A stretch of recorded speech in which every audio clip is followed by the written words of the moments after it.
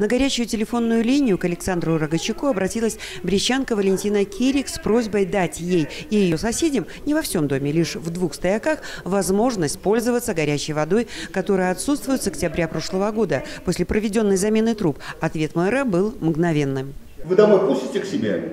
Ну, пошел. Ну, хорошо.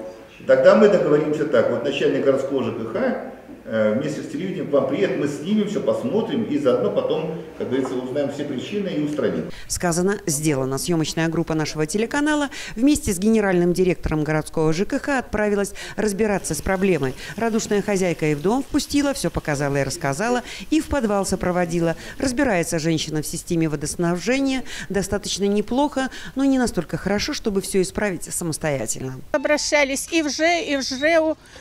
Как пустили, вот э, новые трубы проложили, пустили в октябре водой, и у нас большая проблема с водой. У нас если идет... С горячей водой, как Ой, я понимаю. Да, с горячей.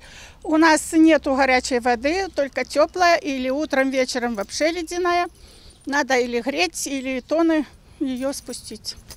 Вот, обратились, может, кто поможет, найдут какого специалиста, который разбирается. Да, действительно, без горячей воды ни туды, ни сюды. А если она отсутствует в течение полугода и никто не принимает меры, и к мэру дозвонишься. Сказала, что решат эту проблему. Будем видеть. Надеемся, что кто-то поможет. К сожалению, проблема существует, она обязательно решится, нерешаемых проблем не бывает.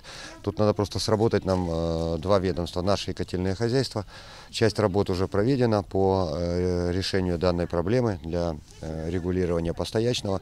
Мы отработаем сейчас с нашим э, предприятием котельного хозяйства. И этот вопрос, я думаю, он решится ну, буквально неделя-две. Данный вопрос может быть решен. И он будет решен однозначно. Поскольку вы видите, в соседних квартирах горячая вода есть. Проблема существует только по двум стоякам первого и последнего подъезда.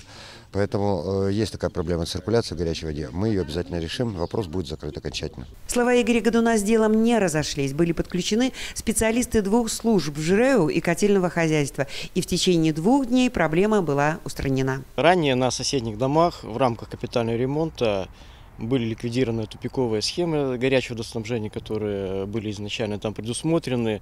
То есть проблему, 50-летнюю проблему мы решили. Но, к сожалению, эти работы привели к тому, что увеличилась нагрузка на наружные тепловые сети, что привело к снижению гидравлической устойчивости. Нами совместно с Брестским котельным хозяйством Одновременно были выполнены технические мероприятия, в том числе и замена насосного оборудования на центральном тепловом пункте. И в настоящее время вопрос с обеспечением качественного горячего водоснабжения у жильцов данного дома полностью решен. Вода горячая есть. Вода горячая есть, да, проведен обход, э, поговорили с жильцами, жалоб нет. Лариса Осмолович, Григорий Пекарский Дмитрий Лазарчук, телекомпания Бук ТВ.